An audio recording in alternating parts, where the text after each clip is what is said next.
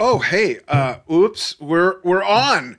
Hey, everybody, Dan Schinder here on, and I hear some. What is that? There we go.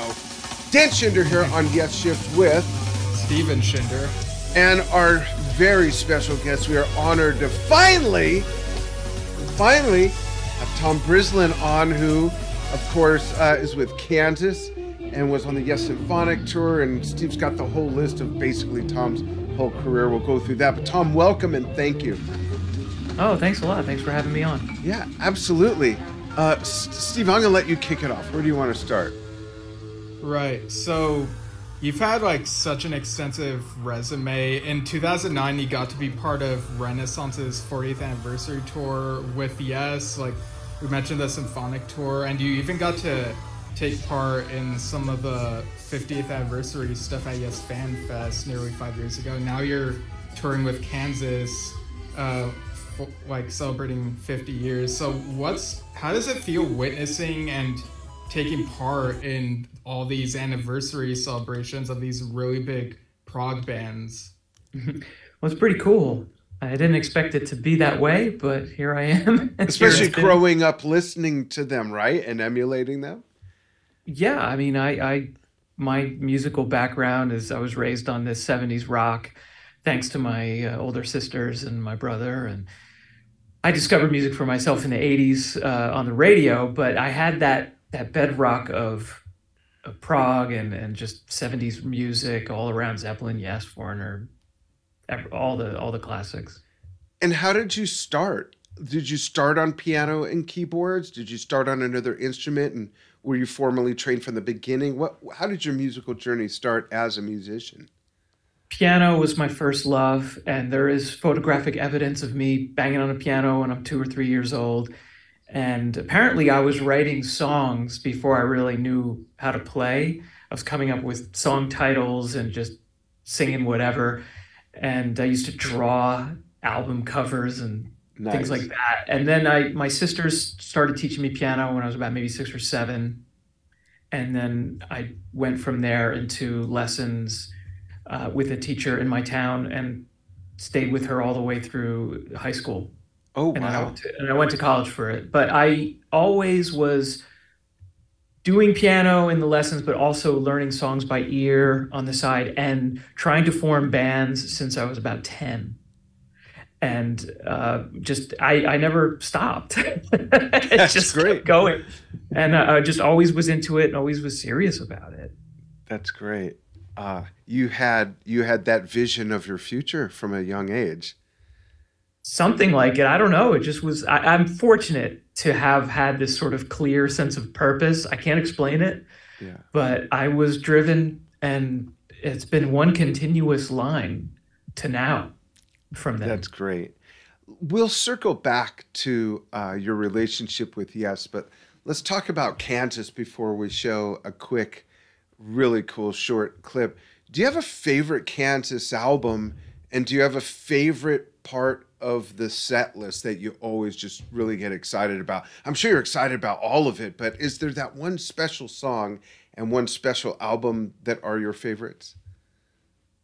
Well, in terms of my musical history and background, I have to say that when I finally got a CD player, when I was about, I don't know, 15 years old, and it was like oh now i have to build a cd collection.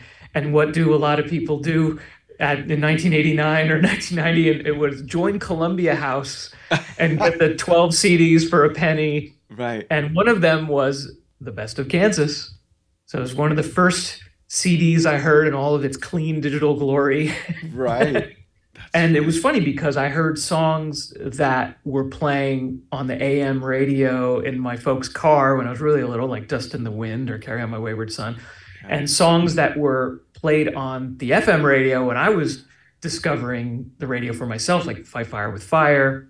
And then there was this link to the progressive music scene that I wasn't aware of with Song for America. And that's really one of my favorite songs to play with the band. And it's just meant so much to me and i think it really encapsulates a lot of what kansas is about oh that's great um, by coincidence that's what we have a short clip of to show so dig this everybody this is really great uh, point of view of where Tom's playing uh, on camera, the way it was shot. Check this out, folks 25 seconds of Tom Brislin and his backup band, Kansas.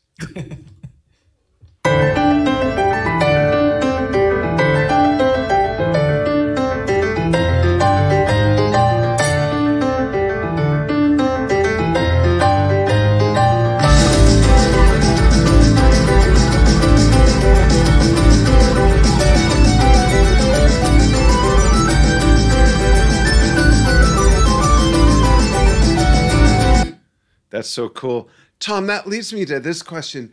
When when you're emulating such classics like that, close to the edge, things like that, what's your method? Do you do it purely by ear or do you chart it out or do you go get whatever charts are available? What's your method? The first two of the three you mentioned, because okay. I have no choice but to learn all this stuff by ear because there are no official scores. Right. There's been sheet music adaptations over the years, but yeah. in terms of the exact parts as played on the album, that's on me. Yeah. And so because of the volume of material, I do chart things out. Sometimes I'll make detailed transcriptions and sometimes I'll just make secret coded messages that only I can understand. right. Shortcuts and shorthand and, and things like that. But uh, but yeah, I mean, I it all started for me with Meat Loaf when I, I was tapped to be his pianist in 1998. And they sent me a CD, Live Around the World, and they said, play this. And the songs were in some different keys than the original studio recordings. Arrangements were a little different. So that was the the Bible for what I was going to do. And at that time, it was just you're playing the CD and you play a little segment of it and pause. And then I try to figure it out. And, and I'll write out notation by hand and then play, pause, play, pause, and just rewind and just keep trying to figure it out over and over again. And similarly with Yes was a similar thing, only mm-hmm. I was so versed in the studio recordings with Yes that and that I was I was going by that. Yeah. And but similar process. I just had to kind of quick grab these things off the CD and try to adapt it. But again, yes, music was in burned in my soul for yeah. so many years that it, it I had a little bit of an advantage going in. Uh, Kansas was same thing. Here's what we do live, and here are the studio recordings. And only now in 2018, when I was learning the Kansas music, we've have some better tools for learning music now with right. the ability to slow down audio without changing the pitch, for yeah. instance. And it made things a little bit uh, more of a smooth workflow. Still challenging. Still, still you got to hear it, and and sort of peer through the entire mix and find what exactly is the keyboard doing here. Mm-hmm. And then once I have all the notes together, then it's the sound programming, which I'm also responsible for. Right. So Thanks there's, for there's sharing that. Layers yeah. to it. Yeah, layers yeah. to the job. Yeah, I, I remember a few years ago, um, you were sort of giving a little peek of what it's like to sort of go through the Styx material. I think that was when you were playing with uh, Dennis DeYoung in the lead up to that. So that was like really neat to see. Um, yeah, and that was kind of an emergency fill in.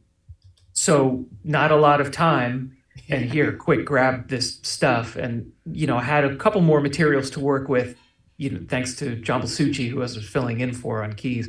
Yeah. But that was, I was just sort of stepping into that briefly and just grab a couple shows and then it was done. And, and yeah. rewinding back to the late great Meat Loaf, let's give him a shout out. Tell us something you learned from working with him that really stuck with you that has transcended through your playing and your career as a musician forward, whether it was musically, business, on stage, recording? Meat Loaf taught me what it meant to play on big stages mm. and for large audiences. Because especially in Europe and the UK, we were playing Wembley Arena and uh, arenas in Europe all over the place. So it was I was playing locally with my band yeah. and with a few other groups over the years. But this was a new situation, a new environment, a new mode of thinking. Yeah. And Meat Loaf was such a performer. He considered himself an actor, yeah. an athlete more than a musician. And so it was all about emotional effect and bringing the entire audience into your world. So, and that's something that's stuck with me for forever. That's awesome. The only other person I've ever seen do that on that scale, it's Meat Loaf and Freddie Mercury. They both were able to get on that Wembley size arena stage and bring everybody in, just like you said. Just amazing. That that's a, a skill that you can't learn, really, you know, just as a front person, you know. Something special about it. Yeah. Yeah. And um, we'll circle back to yes, but first I want to read a few comments real quick. Marcel Chris Dube says, Seems that learning by feel really helps, although reading might be the key to figuring out the nuances on the score. And I see Catherine Farrell Kelly says, You kill it on the spider. See you in October. And Robert Gaeta says, Spider this tour again. Um, so, yeah, thanks for the comments, people tuning in.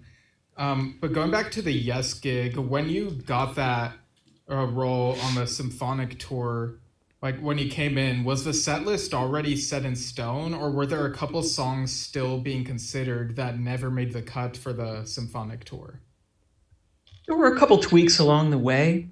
When we played North America, which was the first half of the symphonic tour, we were not playing Owner of a Lonely Heart in the set. Right we were playing Wondrous Stories for some of it. Oh. And we had not yet put the song magnification in at first.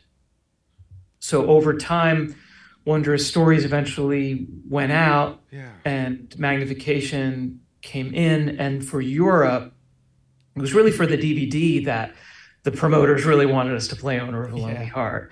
And we had been doing just fine without it on the symphonic tour, but it's the biggest hit song the band's had. So of course the the powers that be that were investing into this DVD wanted to make sure that got on there. And once we played that in Amsterdam for the DVD, it, it stuck around for the rest of the tour. Interesting. Yeah, I saw you at the Hollywood Bowl, um, which was great. It was just such a great experience. And I have to say for Jon Anderson, this is not that was not the first or last time I saw this happen when I don't know if you remember, I, with so many shows, I don't know if you remember this, but right after the long, beautiful musical instrumental intro to Gates of Delirium, when everything finally calmed down, he completely forgot the first line, looked around, and Chris slid over and leaned over in his ear. And then Jon just started singing, didn't count anything. And then the, the conductor did this, and the orchestra got back into place. It was great. And they, it just all continued on beautifully um, that that's a great venue to see a show, and I'm sure to perform at as well. What was the sound like dealing with in your capacity with the orchestra on stages like that? Was it a really nice in-ear mix? Did you also have monitor wedges? I only had in-ear monitors. Okay. Uh, I think Alan White used some wedges as well. Mm-hmm. Had some speakers because they, they still liked that link to the to the old ways of doing things, yeah. but there yeah. was also in-ear monitoring so we could have more precision. There was plexiglass everywhere separating the orchestra from the band, et cetera, et cetera. So it was a lot to handle. And since I was touring with Meat Loaf and was using in-ear monitors, I, I became selective with what I absolutely needed to hear to get the gig mm. done. It may not be sense. the most interactive thing, but especially when we're playing music that's mostly the same on any given night, I was like, well, I need to hear the, you know, this, this, and this, and mm. get, to to get through it. Because if you start trying to be uh, super precious, I want to hear every little nuance and nook and cranny. it can get really crowded, and you might miss something that you need. Yeah, that's awesome. Thanks. You know, Steve, one of Steve's favorite all time musical works is the Anderson Stolt invention of knowledge. What was it like getting involved with that? How did that transpire and what was the recording process like? I used to front a band called Spiraling, mm-hmm. and yeah. we were mostly a you know modern rock band, a synth rock band, somewhere between the Cars and the Foo Fighters and XTC and just power pop, but there was some progressive influences. And this had, this was a band I started when I was 19 years old. And once I was tapped for Yes, and the Yes audience started becoming aware of what I what I was doing. Spiraling would get invited to play at progressive shows and festivals, and we played in CalProg at CalProg in 2005 alongside the Flower Kings, oh. and that's how I met Roine Stolt and Jonas Reingold, and we struck up a kinship then and just kept in touch for years. In fact, I actually did meet him when he was touring with Transatlantic because they all came to see Yes in Frankfurt on the symphonic tour. So I met all the transatlantic guys just a few years before having this context and actually getting to really chat with them. And it was something so when uh, I think Roine had struck up a musical relationship with Jon Anderson on one of the cruises. Mm. And they decided to make an album together. And Roine said, Well, Tom was involved with Yes. And, and John was also trying to do something with me for many years. so this was a cool opportunity. And this was no remote recording affair. I went to oh, Sweden and, and got on many planes and trains and automobiles and got to this studio in the middle of nowhere uh, in a beautiful place in Sweden. And there were a lot of notes. to play. but that was really that was Roine and, and John's creation. So I was really just playing what they they wanted um, to hear on that. But that, did, that was really fun. And did, John I want to just chime in. Did you have any licensing, or how much licensing did you or did you not have on the sounds that that were used? A little bit of discussion, but mm-hmm. most of what Roine was thinking was kind of what I was thinking in terms of sounds anyway.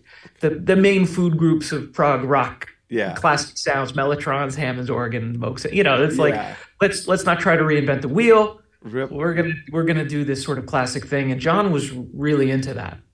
That's awesome. Well, speaking of spiraling and Jon Anderson and lots of notes, we're gonna play a little bit of a clip. I'm gonna scoot through it of spiraling playing Sound Chaser. This is an amazing performance. One of my favorite things to play personally on drums, and what Alan White cited as the most adventurous song Yes ever did from a rhythm section standpoint. Uh, so check this out, folks.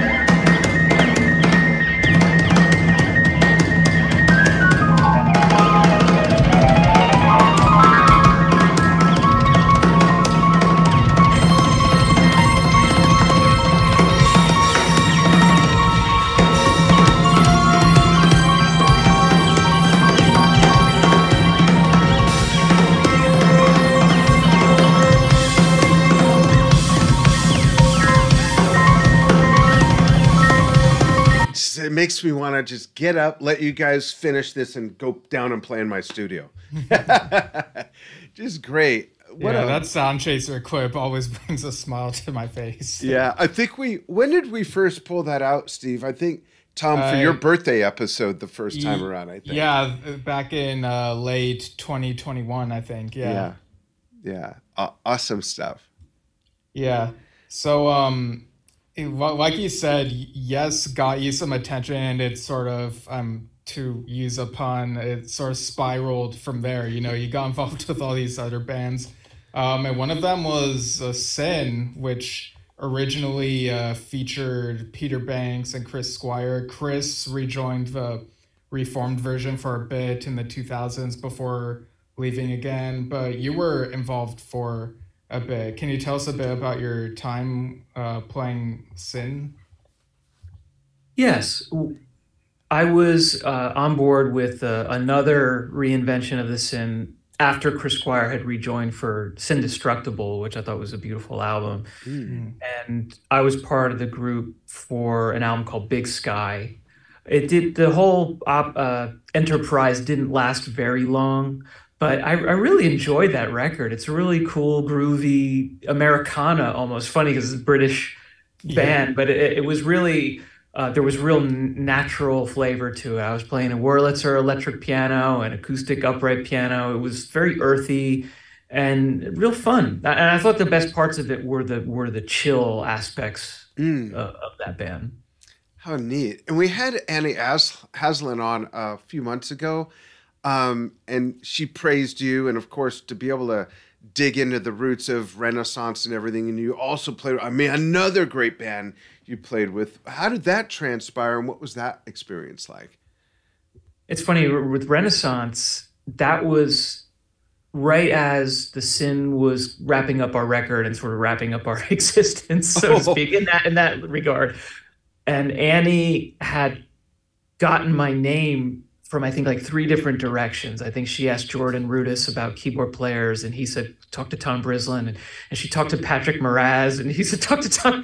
she was like funny, and so she said your name kept coming up. So, uh, but it w- my job with that band was to recreate the orchestra parts. Mm. Rave Tesar was playing the the role of the pianist that uh, that John Tout had done in the classic lineup of. Right. Um, of Renaissance in the 70s. So it was I, I was looking at scores and adapting strings and woodwinds and brass for, for Renaissance. And you know, I got to solo a little bit here and there, but it was mostly a, a, a different kind of role than I'm used to. Interesting. Steve, I think there's some more comments. Uh, yeah, let me just uh, look over here just a moment. Okay. Um, we do have like some comments that people uh, left for us as we were advertising this, so I'll just look at that. Okay.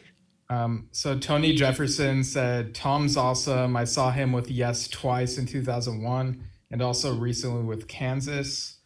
And then Pete Wilder said, Tom Brislin did such an amazing job with Yes. Should have been a full time member, but, and then just ends there. Um, uh, Brian Fuller says Tom should be a household name. I saw him with Yes Symphonic. Wait, it's not. I'm in my house and I know your name. Yeah, same here. Those are some great, um, some great praise. And uh, Bunker S&M says, please remind him and thank him for taking such good care with the keyboard parts during the Yes Symphonic Tour. He respected not only every note, but also sounded like the recordings. All other Yes keyboardists have taken their licenses in terms of sound over the years, including Rick. So, once again, thank you, Tom. And if it's possible, please ask him about his thoughts. No, we can't do that. No, I'm just kidding. ask him about his thoughts and feelings about Topographic Oceans. Where does that album sit for you? I like Topographic Oceans. I especially like it on vinyl. And I'm not like a vinyl hipster. I mean, I grew up with it and I, I in really enjoy certain albums in the vinyl experience, and that's one of them. It just it just sort of like just oozes out of the speakers in a in a really cool, warm way for me. Yeah, and uh, you know, I think that playing Ritual every night with on the S Symphonic tour was really quite an adventure, especially since I got in on the percussion bash. Yeah. And that was, you know, and it was even longer than than the album side. So it, it was it was really fun to to play that music. And I as far as the sounds go, you know, his comment about taking care of the sounds, I'm, i geek out on that stuff. I love the old sounds. And one of the challenges is really getting those sounds with whatever equipment is available in those certain eras. It's a right. lot. It would be a lot easier to do now. Yeah, uh, because the, the there are so many vintage sound libraries and yeah. synthesizers out there. Whereas at in 2001, I when I got the gig with Yes, one of the first things I did was I went on eBay and I bought a Mini Moog. I said, I am now a keyboardist for Yes. Buy it now. yeah. And then, but much to my dismay, they did not want me to bring a mini Moog. Oh, hilarious. Because I think they remembered all the headaches and the tuning issues and the repair and the yeah. fact that you can't recall different sound settings. You have to do it all live. Yeah. In, in the moment. And so they were like, we, and John really liked modern things. I mean, if you think about it, in the era yeah. of topographic and, and fragile, those were the modern new instruments. Right. So the way I, I did end run around it all was I, I got this synthesizer called the Andromeda, which what had the analog heart of an old synth, but it was in a new unit. Yeah. Then it was, oh, is this brand new? This is new stuff I got right here. But that's one of the things I was able to get some of those vintagey tones with was that keyboard and you know just even emulating a Hammond organ is is not as easy as as you think to get to get Right. a real juicy sound out of it. Dealing So with we- drawbars, like what the hell, right? Yeah, but I had I had a at the time on the Symphonic it was the Korg CX3, the one they had just come out with, but and using this system called a motion sound, which was like a little mini part of a, a Leslie speaker, a rotating speaker, which is what mm-hmm. gives the Hammond organ its mojo. yeah. And that was the best I could do because I didn't have the kind of uh, leverage to go in there and be like, I want a Hammond B3, a grand piano, and Right. yeah, but I had to just work with four keyboards, especially since I had a smaller footprint than a Yes keyboardist usually gets on a stage plot. Right. We had a little thing called an orchestra. Yeah. You had 70 people too. behind it taking up all that space. So it's funny in some contexts, four keyboards is a lot. Yeah. It's like, oh man, well, you got all these keyboards, but in in Yes, that's like a quarter of the. Abs- absolutely. You know, So back- I'd make it work. yeah, back back right there, I have a cabinet with all my old vinyl, and I have my vinyl of Topographic Oceans from when it came out. It's my favorite gatefold. It does sound great on vinyl, and I'm teaching a 16 year old drum student of mine right now the revealing science of God. It's just it that's my stuck on an island coincidentally album. like if I had one album to listen to, that's it that's the album for me. Yeah. Just love it. It's beautiful. Awesome. Steve? Yeah, we also uh, got Gina Hall McElroy who said uh, regarding the Song for America clip, Tom is a badass, so fun to watch. And John McGuigan says, Wait, she's talking about music, right? Yeah. Oh. John McGuigan says, awesome musician. Um, but going back to uh, our questions, um, can you tell us about any new music you might be working on? I am working on new music for Kansas. Ooh, Oh, nice. We Great. will we will have another album one of these days. We have this 50th anniversary tour that's on our plate right now, getting the music ready for that. There's some songs I haven't played with the group yet. And in in between all of that learning and studying and practicing, I'm I'm writing music because when we did the Absence of Presence, I really jumped into that process and ended up writing a lot of the lyrics on the album and some of the music. So with that trust, I'm running with it. That's great. I think it's some of the band's proggiest stuff in quite a while, actually. So I'm really curious to hear what's coming next. If it'll be more of the same, more of the same elaborated, or a complete pivot. And you don't have to spoil it if it's a secret. Well, there's no secret, but I will say Okay. this. Um, we don't have to worry about trying to get a radio hit. Right. Oh, We just we just do whatever we want to do. That's great. and have fun with it. And but the thing about Kansas is that there are hooks and there's memorable melodies and some pop aspects of it. That's part of the DNA of that band. So Yeah. we're not going to go off the deep end, but it's all flavors are available. That's great. Yeah, absence of presence is very top notch. It's there. There's such a gap uh, for me of Kansas albums I still need to get to. I've listened to the first few and I've listened to Absence of Presence, but Absence of Presence does such a great job of showing where Kansas is now and just bring the sound forward. And I, I really enjoyed your contributions on that. You know the keys, the lyrics, and even some singing. It's a really great album. Thank you. Yeah, absolutely. Any uh, further activities from the sea within planned? Never say never. Right? Um, but it, it, the Sea Within was uh, something that ended up being short lived for a few reasons. I, I, got, I started playing with Kansas, and Jonas got on the Steve Hackett tour, and every you know, a lot of things happened that we didn't expect but had to run with.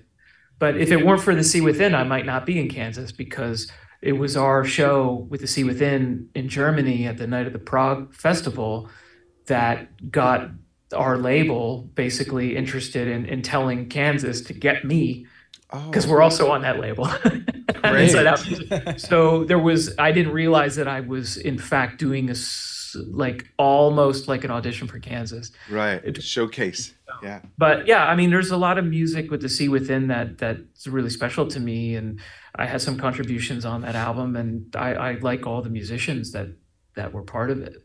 That's great. Is there anyone besides me that you just dream to work with that you haven't worked with yet?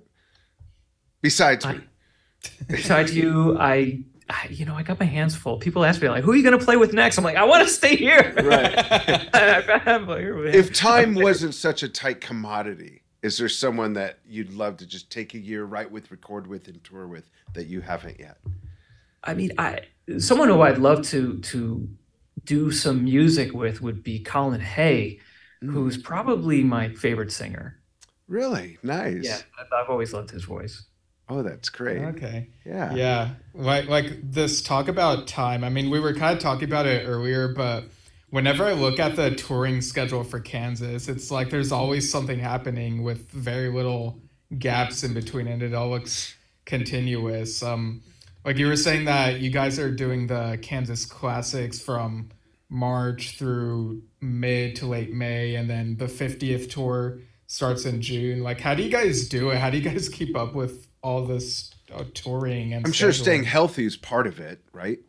Yeah, that's a big part of it. Yeah. And doing our homework, really. I and a lot of that's on me because I, I'm the one that hasn't played some of this music before, whereas the other guys have. Yeah.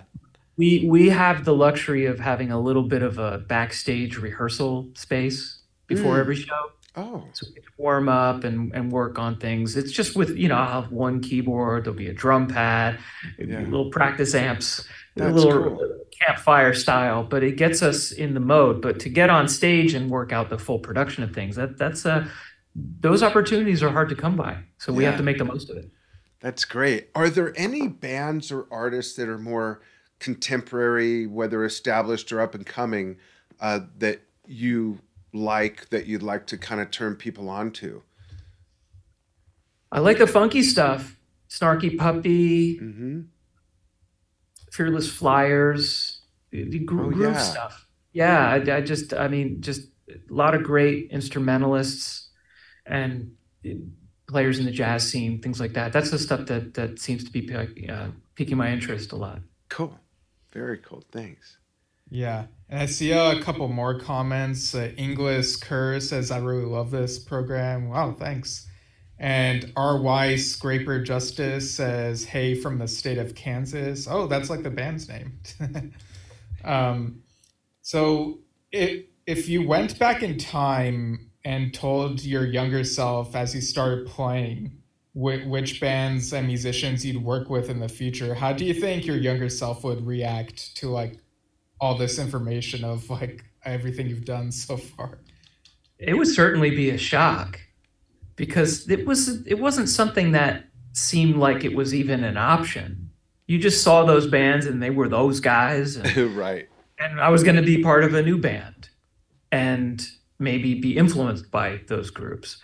I think the first time I got like just like sort of a a glimmer of the possibility was I think it might have been Rick Wakeman in an interview said something about how he'd like to see the music of Yes go on and on and on after oh, they're yeah. gone. Like like yeah, a that's symphony- in the Yes Years documentary. Yes Years. Yeah, and and it was it was like a symphony orchestra Yeah. and Exactly. and I, you know, for maybe a split second said, "Oh, maybe I could be a part of Yes one day." Right. And but it, it was very unexpected. It's funny because in 2000, while I was with Meat Loaf's band, I went to see the Masterworks tour because Yes and Meatloaf had the same management at the time. hmm So through my connections, I got to go to the Yes show, and and it was Kansas and Yes. Yeah. Oh wow. So the last Yeah. thing I thought at the time was that I would be in both of these groups Yeah. one day. Yeah, they should have called it the Cans Yes tour or I don't know. like you can do that with a couple of band names, like Yes and Genesis could be Genesis Yes, but I digress. so you digress. digress. Yeah. Tom, if if you were to show up for a jam and were asked to bring one keyboard with you, what would that keyboard be? Not knowing what kind of music was going to be played, just what what's the most utilitarian, versatile workhorse in your mind? That you it's one that I don't currently own. Oh, but I would say the Nord Stage Three would be something oh. I would bring because it's got all the the main essentials covered very well, mind you. And also, it, it doesn't weigh a ton, so I could actually walk into the jam session with it under my arm. Oh, that's cool. Noted. Okay. Um, what, being that Yesshift, of course, is based around the Yes verse, if you will, can you share one or two fun anecdotes from when you were on tour with them? that I can reveal publicly? Yeah. No, just no. here on Yesshift. Well, I, re- I re- do remember was there was one show we were in England playing, and from night to night, the the show was largely the same, and the the the moves that everyone was doing or lack thereof were were kind of the same. But on this one particular night, it was uh, strange because Chris Squire started coming toward me in the middle of the song which he normally didn't do. He would do that in Starship Trooper, and we'd have a little banter, a musical uh, conversation, if you will, mm-hmm. in the middle of that. But uh, and also in um, in Ritual, we would do that too. But this was something different. He was just coming my way, playing the song. I was like, "Uh oh, what did I do? What did I do wrong?" And and he's like leaning toward me to tell me something. I pull my earphone out and I'm not going to imitate his voice, but but he he said this was the show that Rick was eating a curry on stage. and, and what what's funny is that a he assumed I would know the reference. Right. and B, I knew the reference. so yes, for those listening don't know, yeah, like Rick Wakeman famously told his stagehand to get some curry and, and they brought it out to him on stage which i don't think he expected them to do but yeah, it, yeah i think so, in the in chris welch's book close to the edge a story of yes the way it was recounted was that rick told a stagehand like during a song after this we're gonna get some curry and the stagehand thought he was saying he wants curry like right now and so the stagehand went got the curry and brought it to him and rick goes like distracted by it's like, well, might as well eat it now type of thing. Yeah, so I'm laughing. I'm still trying to play yes music with two hands on keyboards, trying not to lose it. And that's and that's the funniest postscript to that story is that as Chris is walking back to his station, Jon looked at him and was like, like what was that? You know, and I saw Chris lean over to tell him something and probably the same thing. And Jon started losing it and he started laughing. And we're all trying to just keep doing the music. That's hilarious. That's funny. Tom, that is a story. Hilarious. Tell us just a, a personal, a somewhat personal, not, not too personal. What do you like to do when you're not? And I know there's slivers of time only, but what do you like to do when you're not playing music? When you're not writing, recording, touring? What keeps you off the news outside of that?